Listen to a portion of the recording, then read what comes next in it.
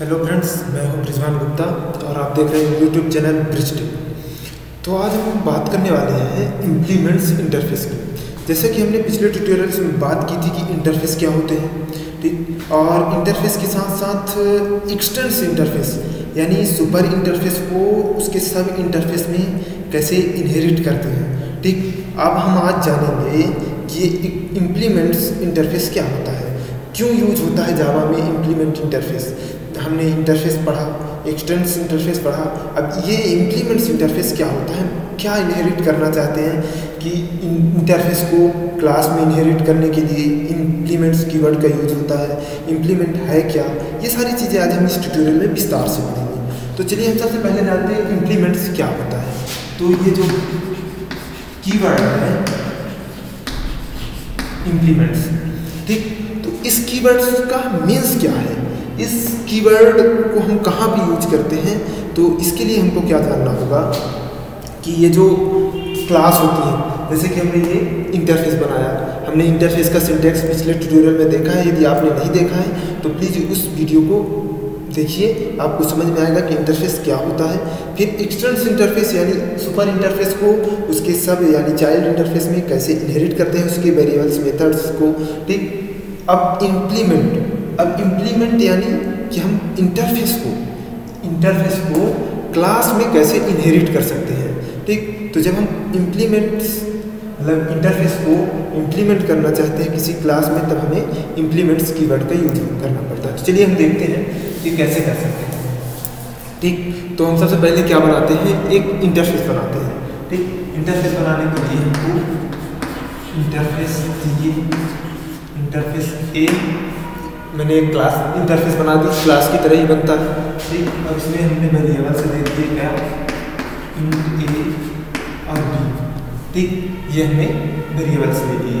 और इसी में हमने मेथड एक बना दी, सो मेथड ठीक, और ये हमने क्लोज कर दिया। ठीक, ये क्या बना मेरा? एक इंटरफेस अब इस इंटरफेस को जब हम क्लास में इनहेरिट करना चाहते हैं, ये सारी चीज़ें इसकी जो हैं तो हम जब क्लास में इनहेरिट करें कैसे कर सकते हैं ठीक? तो ये सारी चीज़ें हम देखेंगे। तो ये सबसे पहले हम इसके बाद क्या करते हैं? इंटरफेस बना लिया। अब इसके बाद हम क्लास बनाएँगे ठीक? तो हमने एक क्लास बना दी क्लास हमने बना दी डी नाम की ठीक? अब हम इस इंटरफेस को इस इंटरफेस को क्या करना चाहते हैं? क्लास में एक्सटेंड करना चाहते हैं। जब हम क्लास में एक्सटेंड करना चाहते हैं इनहेरिट करना चाहते हैं मतलब ठीक? तो उस वहाँ पे हमको क्या कीवर्ड यूज़ करना पड़ता है? इम्प्लीमेंट इम्प्लीमेंट्स ए तो इम्प्लीमेंट्स लिख देने बस से इम्प्लीमेंट लिख देने बस से ये हम इंटरफेस के वेरिएबल्स और मेथड्स ये जो फ़ंक्शन हमने लिखा है, उसे यूज़ कर सकते हैं। ये क्या होता है? ये होता है वेरिएबल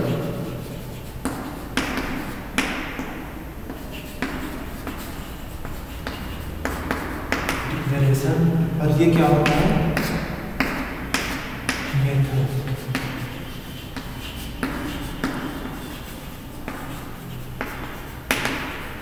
ठीक ना ये हमने कर दिया। अब इसमें जब हम क्लास बनाते हैं तो क्लास हमने पिछले ट्यूटोरियल बताया कि क्लास कैसे डिफाइन करते हैं जावा में और इसमें वेरिएबल्स वगैरह कैसे ऐड करते हैं। ठीक तो आप पिछले वीडियो को ज़रूर देख लीजिए ताकि आपको समझ में आ जाए कि ये क्लास बनते कैसे हैं।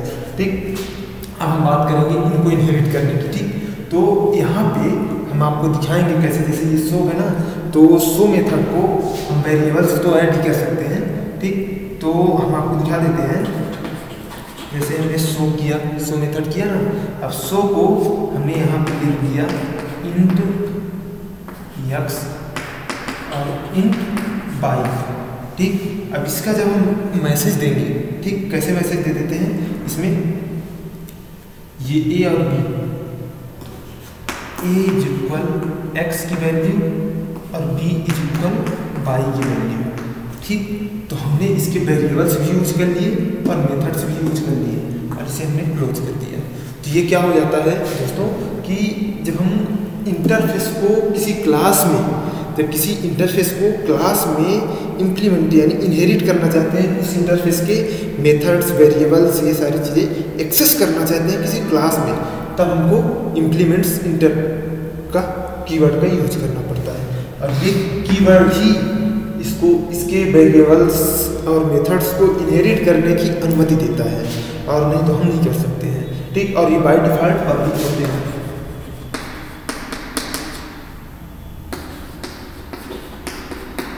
ठीक है ना?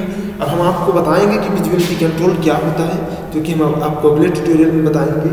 और इस तरह की ट्यूटोरियल्स आप देखते रहिए ताकि आपको जावा पढ़ने में बहुत ही आसानी हो जाए। और यदि आपने अभी तक हमारे वीडियोज़ को लाइक नहीं किया है तो लाइक कर लीजिए शेयर ज़रूर करिए दोस्तों के साथ, ताकि उनको भी जावा अगर पढ़ते हैं तो उनको सरलता मिले। ठीक, दोस्तों, अगर कमेंट में अगर आपको कोई भी डाउट हो तो आप कमेंट में हमको पूछ सकते हैं कि इसका क्या होगा। इसकी ट्यूटोरियल्स बताइए। अगर जो चीज़ें समझ में नहीं आ रही तो आप बेझिझक पूछ सकते हैं हमसे कमेंट में। ठीक, और उसके बारे में ट्यूटोरियल्स बना दूँगा। वीडियो बना दूँगा कि आप देख सकते हैं, आपको प्रॉफिट होगी उससे। और यदि आपने अभी तक हमारे चैनल को सब्सक्राइब नहीं किया है तो सब्सक्राइब ज़रूर करिए ताकि आपको इस तरह की वीडियोज़ की नोटिफिकेशन मिलते रहें और आपको हमारा सपोर्ट भी बना रहे। थैंक यू मिलते हैं आपको अगले वीडियोज़ के साथ। तब तक के लिए बाय